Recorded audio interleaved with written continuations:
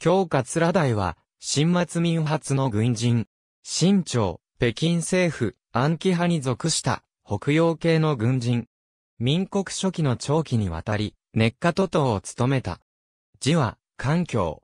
少年時代に年軍として清朝への反乱に参加していたが、千下林鎮率いる鎮圧軍に基準する。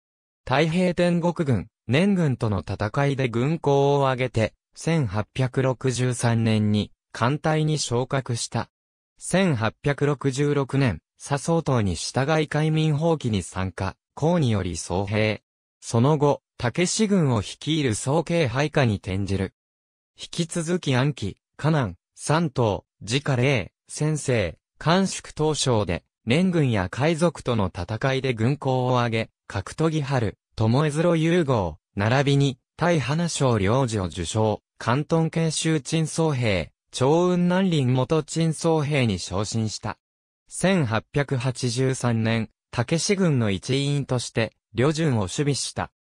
しかし、1894年の日清戦争では、上陸した日本軍と戦おうとせず、旅順を放棄して退却した。そのため、軍職から罷免されてしまう。1895年、京桂台は、遠征外により再起用され、新し県陸軍の編成に従事した。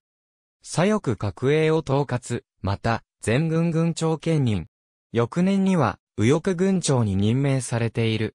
1899年に、武衛友軍が編成されると、全軍軍長、また、左翼統領、不対左翼第一分党を兼任した。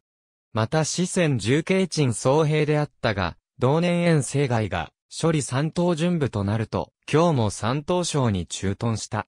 1900年の義和団の乱では、今日は義和団を討伐し、生体校、高所定を北京に迎え入れる上で貢献した。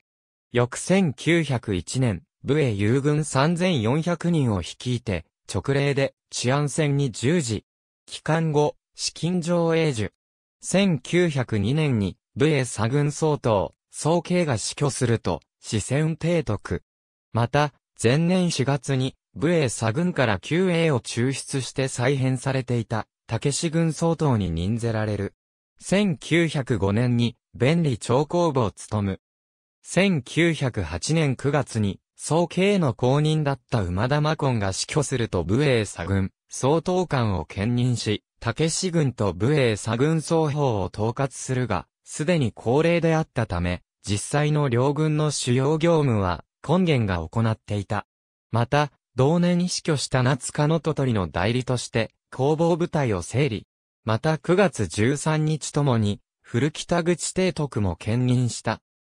1911年の辛亥革命時に、景気防衛の任を解かれ、武衛左軍と竹志軍を合併して、竹志軍に名を戻し、陳望義を、三世小大道、長を、河南省、落葉を呼び、先制小道館に展開させた。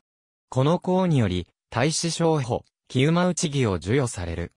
しかし、南北和議中の1912年1月26日、及び2月2日、今日は、他の北洋計画省49名と共に、戦闘艇に大位を迫る電報に名を連ねた。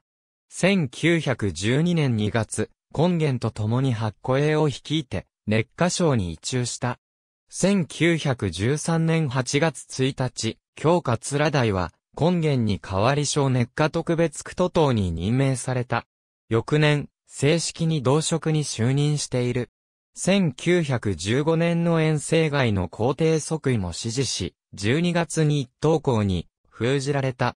1916年6月の遠死後は、今日は暗記派に属し、不院の争いでも、断気髄を支援した。同年8月には、暗記派特軍による13小連合会に名を連ねている。1920年7月の安直戦争が勃発する直前には、総統、女性省の命により、官将軍不事務として、京桂台は、調布所芝と共に、直令派との朝廷に奔走した。しかし、これは成功せずに終わる。ただ、この過程があったことに加えて、女の保護も受けたため、今日は安徽派敗北後も失脚に追い込まれることなく、そのまま、熱下都島に留め置かれた。1921年9月、今日自身の要請により、熱下都島を離れ、陸軍検閲市に移動した。1922年1月16日、北京で病没。去年79。後任には法天派の旧金順、ついで、直令派の王会計が就任するなど熱化をめぐって、軍閥間の争奪戦が起こり、また、武士軍内部でも財政町長の白小音外が暗殺されるなど後継者争いが起こったが、米振り票が収束させた。ありがとうございます。